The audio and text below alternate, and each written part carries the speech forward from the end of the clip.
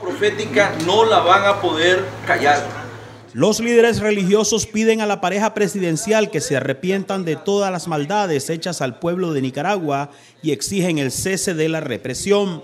Demandamos al gobierno de la República dejar a un lado la mentira y hablar con verdad, sin demagogia y desfachatez ante la realidad de la insurrección civil de los nicaragüenses.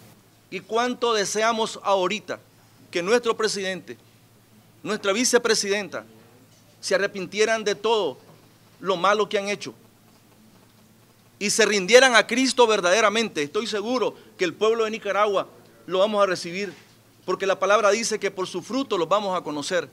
Por su parte, la cúpula del Partido Ciudadanos por la Libertad señala que el único punto de discusión en el diálogo nacional debe ser la renuncia del actual gobierno.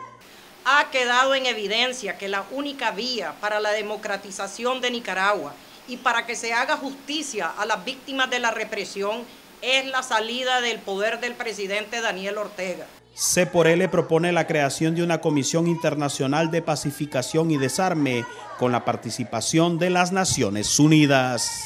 Jonathan Castro, 100% Noticias, El Canal.